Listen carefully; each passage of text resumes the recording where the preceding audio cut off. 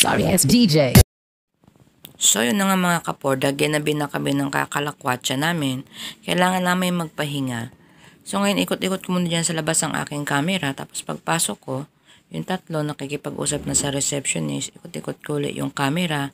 Wala lang, gusto ko lang para mahilo kayo ulit. Tapos yan, uupo na yan sila. Yan. Kasi sabi ng isa, papagod na ako. Sabi ko, ikot pa kayo more. Dito kami yung nag-check-in malapit sa may luneta kasi babalikan namin yung luneta. Yung may hawak naman sanas na yan, gusto niya magpa-picture doon sa Rebulto ni Jose Rizal. Kasi souvenir daw niya. Kasi matagal na rin daw siyang hindi nakapunta ng luneta. So yan, ginalaw ko yung camera ko, di ba? Nahihilo-hilo kayo. Kahit ako nahihilo ako habang sa pagdadab ko nito. Yan. Titignan ko yung sarili ko sa lamin. Ay, hindi makita. Na mag-adjust. Bahala kayo. Tapos yun isa. Pinakikialaman yung isda. Tapos iikot ko ulit yan yung camera ko. Yun, oh, hanggang sa wala kayo makita kasi nag-blurred na siya. Yan, yun na mag-adjust. Mag-elevator kami. Ano?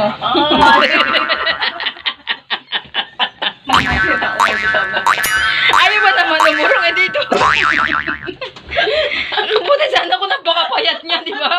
Talagang binalandra niya yung katawan niya ng ganun. Mushit! Uy, nasa payo. Paano 509? 502 to, eh, nag-invento ka na naman ng sarili mong hotel. Welcome to the new house. Sige, pasok. Pasok, pasok. Welcome to the new house. Wow, eto yung aming kwarto. Salamat. May wifi pa. Are excited? Alam na this. Sleeper. Ah, okay. Ah. Ah, may, may kape, may kape. Ah, ah, ah. Tinira ka ng higa.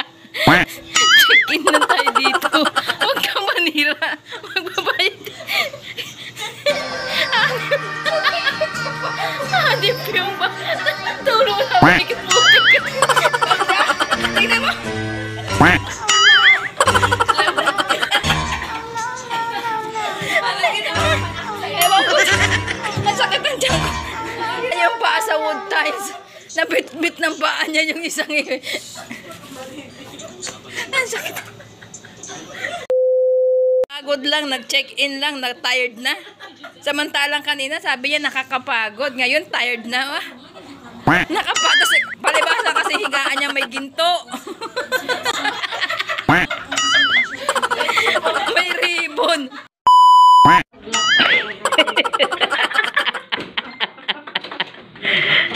Hindi pa niya matanggal. Sa iba. Hindi niya matanggal yung lag. So yun na nga, umaga na kailangan namin magkape doon sa lobby. Bababa na kami. Pero ang totoo, hindi naman ako nakatulog. Ay, Diyos ko Lord, namahay ata ako. So ngayon nandito na kami sa baba. Doon kami pupunta sa gawing kaliwa. Yun ang manguna-nguna kasi kaping-kape na. At gusto daw niya pumunta talaga ng luneta para makapagpa-picture doon kay Dr. Jose Rizal. Yan. Uupo siya dyan yan. Tapos ako ikot-ikot ko lang tong camera ko. Yan. Pag, pagtapos namin magkape, pupunta na kami ng luneta. Pero parang bibit-bitin na namin yung kape namin papunta doon. Kasi naghabol kami ng oras. Alam mo naman, mga busy persona itong mga kasama ko. ba? Yan. So, yun na nga, nandito na kami sa luneta. Bit-bit talaga namin yung kape namin. So, inikot-ikot ko na naman yung aking camera hanggang sa mahilo-hilo kayo. Yan, yung tatlo dyan, naglalakad, nagkukwentuhan sila dyan. Bahala silang tatlo dyan. Tatlong magbe-best friend. So, ako ngayon, gagawin ko lakad-lakad, ikot-ikot, yan, hanggang sa mahilo. Yan na yung tatlo, ba? So, pagkakita ko ng tatlo, inikot-ikot ko yung camera ko hanggang sa mahilo-hilo kayo dyan ng kapapanood, ba? Ano, di ba? Maalog-alog pa siya. Kayo na mag-adjust din sa camera ko. Tapos, minadaanan akong kalapate, pinakakain nila. Wow, ang ganda, di ba? So, nagsawa na ako ulit tumingin ng kalapate. Ginalaw ko yung camera ko, tinapat ko doon sa mataas na puno, tapos sinapat ko ulit sa baba para mahilo-hilo talaga kayo. Hihiluhin ko kayo talaga. Yan ang plano ko talaga sa inyo eh. Hiluhin kayo ng hiluhin. So, yun na nga. So, nahilo na kayo. Pati ako nahilo na rin. No? Naglakad muna ako ng maayos. Pero yung camera ko, hindi pa rin maayos. Bahala na kayo mag-adjust. Ha? Bahala kayo mag-adjust dyan. Hindi ako mag-adjust dyan.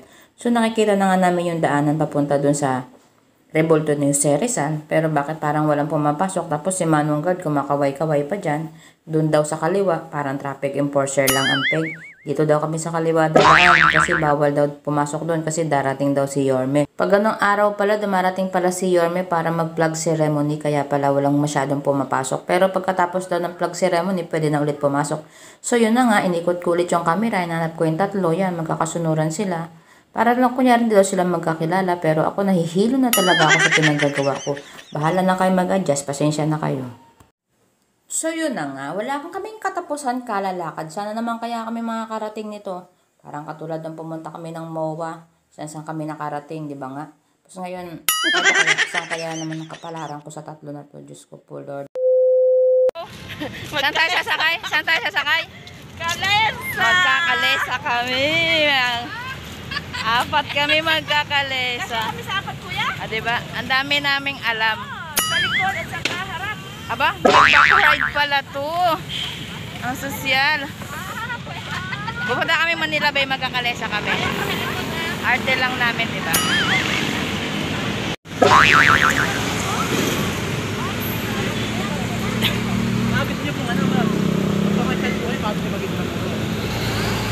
Isa kami. Doon ako sa harap, ha?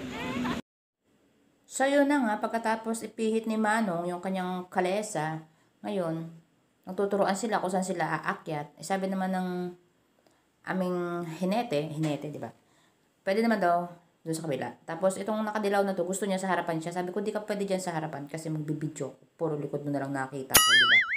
Tsaka hindi daw pwede sa harapan. Kailangan pantay daw yung balance. Yung malaki, sa dulo, yung kabila, nandito yung isang malaki. Sa, sa likod ka, sa likod. Yan. Ah. Dito ako, kuya? Oo, pwede. Ah, dito daw ako. Dito ako. Ulo po nga, yung kina... kina ah. Sa kami ng Manila Bay.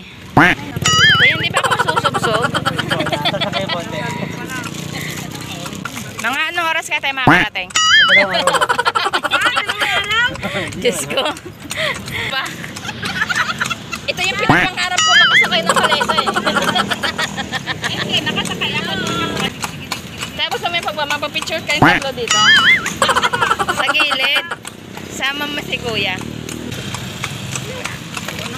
So, babalikan ko kayo mamaya pa nandun na kami sa pupuntahan namin. Eh, sa Kalesa. Bye-bye John Lloyd.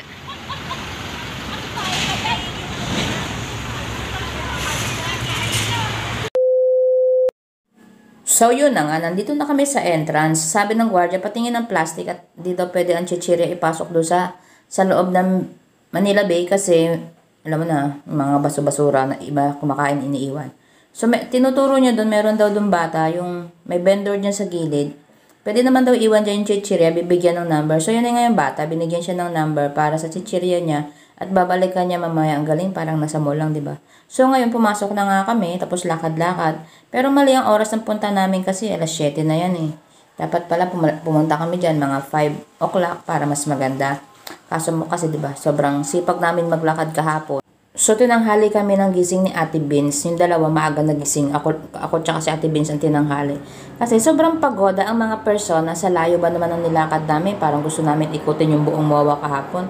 Parang nakalahati pa namin ng MOA. So yun na.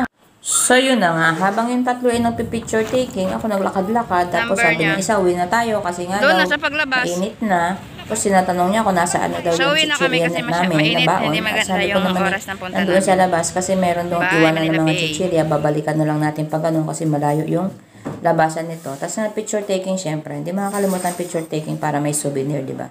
Kaya lang pagtsagaan nyo na yan. Bahala na kayo sa buhay nyo. Ha? Salamat. Sana nag-enjoy kayo sa panonood nyo at nahilo-hilo din kayo.